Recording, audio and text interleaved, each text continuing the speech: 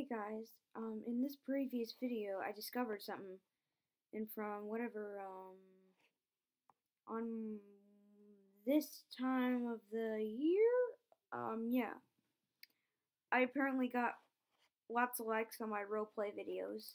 I do not know how, but it, I think I could, I should just go back to roleplay videos. Maybe I should go back to Roblox it might actually get me more likes than previous stupid videos. Yeah.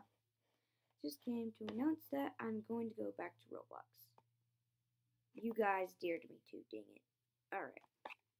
Yeah, I'm just gonna end this crappy video here. Stupid.